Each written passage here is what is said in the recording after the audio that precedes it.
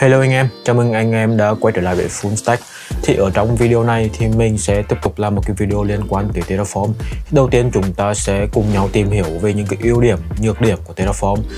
Tiếp theo là chúng ta sẽ cùng nhau ờ, xem xem là cách Terraform hoạt động như thế nào. Và cuối cùng là cái workflow cơ bản hay là những cái command cơ bản khi các bạn sử dụng Terraform. Thì nếu các bạn chưa xem cái video hands-on nhập môn của mình nói về Terraform ấy thì các bạn có thể ấn vào cái link hiện ở phía trên góc này nhé. Ok, chúng ta hãy cùng nhau bắt đầu.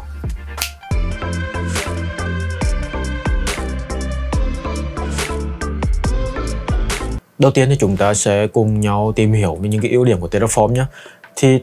thực trong thực tế thì có khá nhiều công cụ để các bạn có thể provisioning infrastructure bằng code hay là infrastructure as code ấy. Thì đối với Terraform thì chúng ta sẽ có một số ưu điểm nổi bật như sau. Cái ưu điểm đầu tiên ấy là Terraform free và open source. Thì Terraform là một cái công cụ open source được maintain bởi HashiCorp và cộng đồng.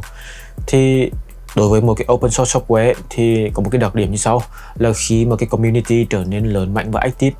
thì tức là có nhiều người đóng góp vào cái tool đấy ấy, thì cái tần suất ờ, uh, release feature mới cũng như là fix bug hay là up version thì sẽ trở nên nhanh hơn. Cái ưu điểm thứ hai ấy là Terraform không bị ràng buộc với bất kỳ một cloud vendor nào. Thì mình sẽ lấy ví dụ một chút thì đối với AWS Amazon Web Services thì chúng ta sẽ có Cloud Formation còn đối với GCP Google Cloud Platform thì chúng ta sẽ có Deployment Manager còn đối với Microsoft Azure thì chúng ta sẽ có Resource Manager thì đây là những cái công cụ mà các bạn có thể sử dụng để provisioning infrastructure. Thì ở đây sẽ có cái ràng buộc tức là các bạn sẽ chỉ có thể sử dụng cloud formation để provisioning infrastructure trên AWS chứ không thể sử dụng cloud formation để uh, provisioning infrastructure trên GCP hay là Google Cloud Platform ấy. Thì Terraform ấy sẽ không bị ràng buộc như thế này bởi vì là Terraform sẽ liên kết với các cloud vendor thông qua provider và các bạn chỉ cần uh, thay đổi cái provider là có thể sử dụng uh, thoải mái. Cái ưu điểm tiếp theo mình thấy là Terraform khá dễ sử dụng bởi vì uh, Terraform có cái document khá là đầy đủ. Ngoài những cái document chính thức từ uh, HashiCorp thì chúng ta sẽ cũng có rất nhiều document ở trên mạng các bạn có thể google ra liên quan đến Terraform. Thì đây là một cái ưu điểm rất là tốt. Cái ưu điểm tiếp theo ấy thì cái cách viết configuration file của Terraform hay là những cái file kết thúc bằng đuôi .tf thì được phân loại thành là declarative programming. Thì ở uh, declarative programming là một cái từ mình nghĩ là khá là khó dịch sang tiếng Việt cho nên thì mình sẽ giữ nguyên như thế. Thì trái ngược với declarative programming thì chúng sẽ sẽ có imperative programming. Thì hai cái khái niệm này thì để phân tích thì mình nghĩ là nên để dành một cái video khác. Thì trong video này thì mình sẽ chỉ nói rất là nhanh. Hai khái niệm này trái ngược nhau thì ý nghĩa của nó như thế nào? Thì declarative programming tức là các bạn sẽ mô tả cái trạng thái cuối cùng mà bạn muốn đạt được. Còn imperative programming tức là các bạn sẽ mô tả các cái uh, step hay là các cái bước các bạn muốn các bạn sẽ phải thực hiện để đạt được cái trạng thái cuối cùng đấy. Và cái điểm cuối cùng ấy là Terraform sử dụng uh, HashiCorp Configuration Language hay còn gọi tắt là HCL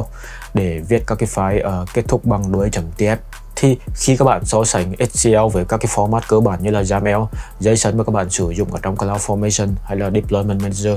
thì Terraform sử dụng HCL và các bạn có thể sử dụng thêm nhiều cách viết phức tạp hơn ví dụ như là for loop này hay là các cái conditional if else chẳng hạn. Thì đấy là một trong những cái ưu điểm mà mình nghĩ là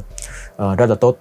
uh, vừa rồi là những cái ưu điểm mà uh, theo mình thấy sau quá trình sử dụng. Thì tuy nhiên ấy, thì các bạn cũng nên uh, thử sử dụng Terraform và có cái cảm nhận của chính mình nhé tiếp theo là những cái nhược điểm của Terraform. Ở đây dùng cái từ nhược điểm có lẽ là không đúng lắm. Mình nghĩ là những cái điểm mà các bạn sẽ cần phải xem xét khi sử dụng Terraform nhé thì cái điểm đầu tiên ấy là Terraform cập nhật version rất là nhanh cho nên là các bạn cũng sẽ cần phải thường xuyên update version của Terraform. Bởi vì mỗi cái version của Terraform ấy sẽ sinh ra một cái state file có thể là sẽ khác nhau một chút. Thì đối với một cái hệ thống nhỏ ấy thì cái việc uh, update version Terraform khá là đơn giản bởi vì uh, sẽ không ảnh hưởng đến nhiều end user. Còn đối với một cái hệ thống lớn infrastructure phức tạp và có nhiều người dùng thì các bạn sẽ cần phải xem xét rất cẩn thận cái vấn đề là update version Terraform. Bởi vì ấy, uh, sau khi update Terraform lên thì các bạn sẽ có một state file có thể sẽ thay đổi một chút. Và nếu gặp trục trặc ấy thì có thể uh, ảnh hưởng rất lớn tới cái end user.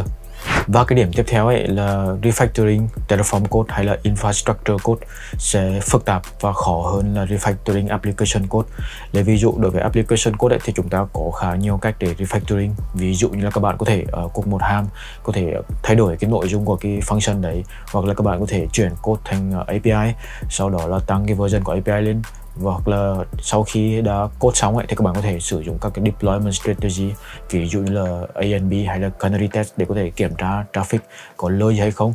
còn đối với infrastructure code viết bằng Terraform ấy, thì sẽ phức tạp hơn bởi vì là nó sẽ liên quan đến cái file state mà Terraform của bạn đã sinh ra và đang quản lý. Tiếp theo ở trong phần này chúng ta sẽ cùng nhau tìm hiểu về cách Terraform hoạt động. Thì để giải thích cho cái phần này thì mình sẽ sử dụng lại cái ví dụ Hanon nhập môn ờ, uh, provisioning infrastructure ở trên Google Cloud Platform thì ở trong cái ví dụ này ấy, thì mình muốn uh, provisioning hai cái resource ở trên Google Cloud Platform đó là Service Account và Compute Engine Instant thì ở trong cái hình vẽ này chúng ta sẽ là developer và các bạn sẽ cần phải viết các cái file Terraform configuration file bằng ờ, uh, Hashicorp configuration language. Ở đây thì mình sẽ có hai cái file có tên là main.tf và provider.tf thì ở đây có một cái điểm lưu ý ấy là Terraform sẽ không ràng buộc các bạn phải đặt tên file uh, bắt buộc phải là main.tf hay là provider.tf mà các bạn có thể uh, linh hoạt uh, thay đổi cái tên của cái file uh, để dễ quản lý được. Tiếp theo, để Terraform có thể tạo được hai cái resource uh, Google Compute Engine Instant và Service Account thì uh, Terraform sẽ gửi các cái request tới public API của GCP cung cấp. Và ở phía GCP thì sẽ authenticate các request này thì Terraform ấy sẽ sử dụng một cái khái niệm có tên là provider để có thể uh, đính kèm các cái thông tin uh, trong quá trình authentication. Thì ở đây chúng ta có thể có các cái provider như là ờ, uh, AWS provider Google Cloud Platform Provider hay là Microsoft Azure Provider. Thì ở trong cái ví dụ này thì mình sẽ sử dụng Google Cloud Platform Provider. Thì uh, để đính kèm các cái thông tin để hỗ trợ quá trình authentication thì mình sẽ sử dụng Service Account Credential. Service Account là một cái khái niệm ở trên Google Cloud Platform được sử dụng để cung cấp uh, hay là xác nhận các cái quyền cũng như là permission của một cái program. Thì mỗi cái service account các bạn có thể gắn thêm các cái IAM permission. Ờ, IAM permission ấy sẽ giúp uh, xác định xem là cái service account này có quyền truy cập tới các resource hay là service nào ở trên GCP. Giả sử ở trong code Terraform các bạn tạo một cái resource compute engine instant thì uh, các bạn sẽ cũng sẽ cần phải uh, cũng gắn cái quyền có thể tạo được uh, compute engine instant vào trong cái service account. Trong trường hợp uh, service account của bạn không có đủ quyền thì lúc các bạn chạy Terraform plan hay apply thì sẽ phát sinh ra lỗi và các bạn sẽ cần phải bổ sung thêm các cái quyền đấy nhé. Tiếp theo ở trong cái nội dung cuối cùng này ấy, thì chúng ta sẽ cùng nhau uh, tìm hiểu về cái workflow rất là cơ bản khi các bạn uh, sử dụng các cái Terraform command. Thì đầu tiên thì chúng ta sẽ có cái command là Terraform init. Thì các bạn sẽ chỉ cần chạy Terraform init ở cái lần đầu tiên hoặc là khi các bạn bổ sung thêm các cái provider hoặc là khi các bạn uh, sử dụng thêm các cái public hay là private module vào bên trong cái Terraform code của bạn thì các bạn sẽ cần phải chạy thêm một lần nữa nhé Bước tiếp theo, sau khi đã chạy uh, hoàn tất cái command terraform init và khởi tạo xong cái workspace thì các bạn sẽ sử dụng command là terraform plan. Thì mục đích của command này ấy là terraform sẽ tính toán ra cái execution plan trong đó bao gồm các cái action mà terraform sẽ thực hiện để tạo ra được cái infrastructure mà bạn định nghĩa ở trong configuration file thì ở đây ấy, sẽ có hai cái tình huống tình huống đầu tiên là cái code terraform của bạn uh, chưa chạy lần nào tức là terraform code của bạn uh, chưa quản lý cái state file nào. Tình huống thứ hai là bạn đã chạy Terraform là apply rồi và tức là Terraform code của bạn đã và đang quản lý một state file ở trên local hoặc là ở trên remote backend. Thì cái khái niệm remote backend thì mình sẽ uh, giải thích cụ thể hơn ở trong một cái video khác. Thì ở trong tình huống đầu tiên thì Terraform sẽ chỉ đơn thuần là từ cái configuration file tính toán ra execution plan còn ở trong tình huống thứ hai ấy, thì Terraform sẽ đọc lại cái state file mà Terraform đang quản lý. Sau đó sẽ uh, kiểm tra những cái chỗ thay đổi ở trong configuration file và chỉ liệt kê ra những cái action để uh, sẽ cần phải thực hiện để uh, cập nhật lại cái state file thôi. Tức là cái số lượng action ở cái trong trường hợp một thì sẽ nhiều hơn so với các cái action mà Terraform sẽ tính toán ra ở trong cái trường huống thứ hai thì sau khi đã có execution plan thì nhiệm vụ quan trọng của các bạn hay là developer ấy là sẽ kiểm tra lại review lại execution plan xem là những cái thay đổi này có đúng theo cái ý định của các bạn hay không. Nếu ở trong cái execution plan ấy mà phát sinh ra những cái uh, action mà các bạn uh, không nắm chắc thì các bạn cũng sẽ cần phải bỏ thời gian để uh, tìm hiểu xem là vì sao lại ra được những action như thế nhá và sau khi đã review cái execution plan và không có vấn đề gì thì các bạn à, sẽ sử dụng một cái command tiếp theo là terraform apply. Thì ở đây cũng sẽ có hai cái tình huống tương tự như terraform plan là tình huống đầu tiên là các bạn đang chạy lần đầu tiên. Thì terraform apply sẽ chỉ đơn thuần là uh, tạo cái infrastructure của bạn và sau đó sẽ tạo ra một cái state file ở trên local hoặc là remote backend nhé còn tình huống thứ hai tức là terraform của bạn uh, đang quản lý một cái state file rồi thì sau khi chạy Terraform Apply thì uh, Terraform sẽ cập nhật những cái thay đổi vào bên trong state file đấy. Về cơ bản thì init này, plan, apply là ba cái option đi kèm với cái command Terraform mà các bạn sẽ hay sử dụng nhất.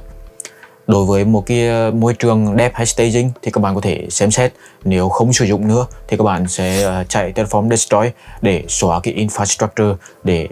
tránh phát sinh những cái phí ngoài ý muốn nhé. Vậy là chúng ta đã cùng nhau tìm hiểu xong những kiến thức uh, xoay quanh Terraform thì mình hy vọng là cái video này sẽ uh, có ích đối với những các bạn uh, đang có ý định hay là đang tìm hiểu Terraform nhé. Thì trong video tiếp theo thì mình sẽ giới thiệu tới các bạn những cái feature hay là những cái uh, điểm nhỏ nhỏ có thể giúp các bạn uh, viết code Terraform cách hiệu quả hơn. Thì nếu các bạn cảm thấy video của mình có ích và muốn hỗ trợ mình thì có thể ấn nút, nút uh, like, subscribe hoặc là chia sẻ video của mình nhé. Ok, hẹn gặp lại các bạn ở trong video tiếp theo.